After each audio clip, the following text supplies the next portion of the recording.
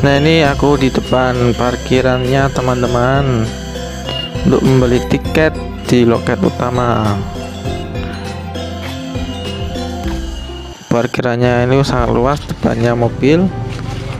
Dan di bawahnya itu parkiran sepeda motor ini. Aku beli tiket Sudah beli tiket.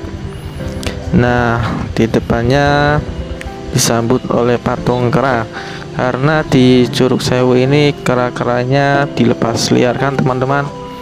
Tapi tidak mengganggu wisatawan di sini. Oke lanjut kita masuk ke dalam teman-teman. Di dalam ini ada tempat pengecekan. Oke Alhamdulillah sudah dicek.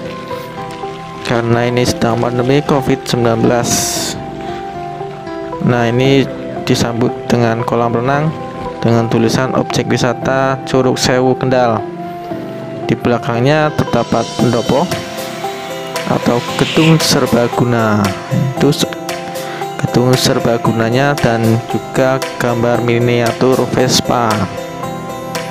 Oke, lanjut kita masuk ke dalam Curug Sewunya. Kalau ke kiri itu musola dan ke kanan toilet. Oke lanjut kita lurus. Nah ini nanti kita menemui beberapa monyet liar yang dilepas liarkan di sini tapi tidak mengganggu wisatawan. Di sini teman-teman. Nah itu ada gerombolan. Wisatawan maaf ini kameranya terbalik karena saya takut dengan kera liar teman-teman. Karena sudah pernah kameranya di bawah oke lanjut.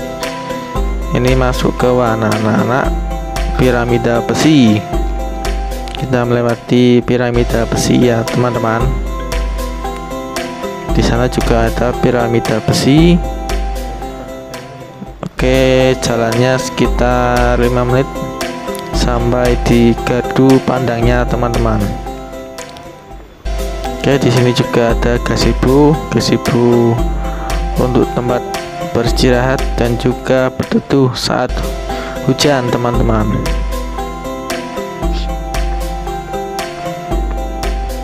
Oke itu ada sekelompok kera lagi. Satu dua dan beserta anaknya teman-teman. Ini aku cepat-cepat lari hahaha. Jembatan. Sungai jembatan oh iku aku lari ki teman-teman.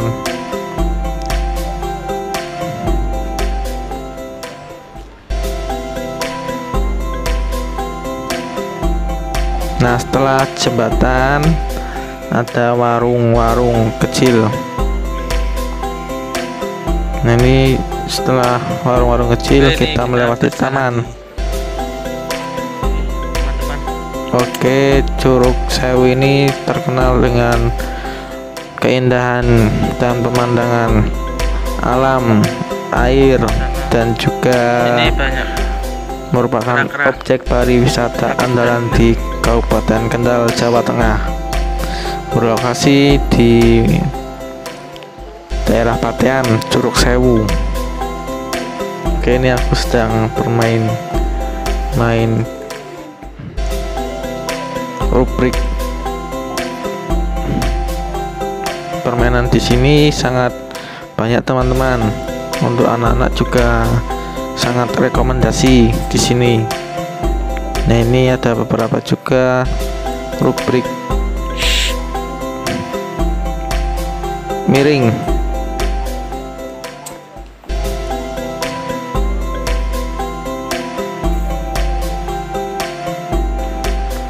Oke sekitar 10 menit kita menikmati warna anak-anak di sini teman-teman karena seru sekali teman-teman. Nah ini taman taman gandung teman-teman. Oke ada pengunjung. Yang juga banyak di sini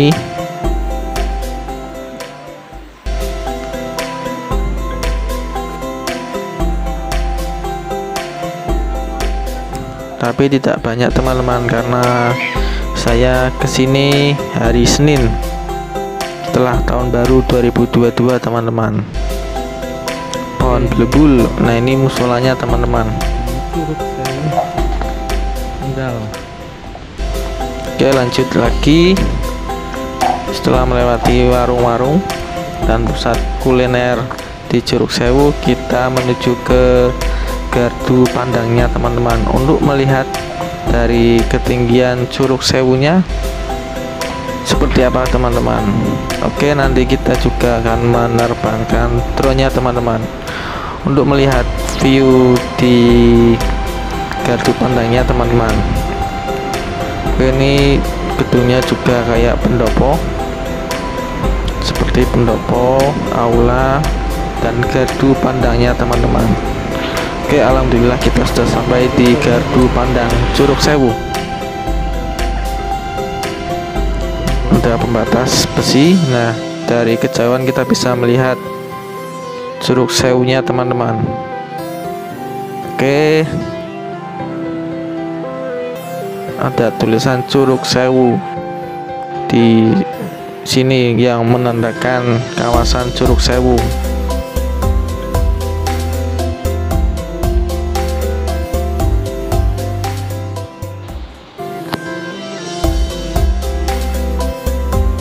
Oke teman-teman. Saatnya kita menerbangkan drone-nya teman-teman. Dan sebelumnya jangan lupa untuk subscribe ya teman-teman. Untuk mendukung channel saya ini teman-teman agar terus berkembang. Oke sekian dulu review mengenai Curug Sewu. Lain kesempatan kita akan berkunjung ke objek wisata di berbagai daerah di Jawa Tengah dan sekitarnya teman-teman Alhamdulillah. Semangat teman-teman. Assalamualaikum warahmatullahi wabarakatuh. Selanjutnya kita menerbangkan drone nya teman-teman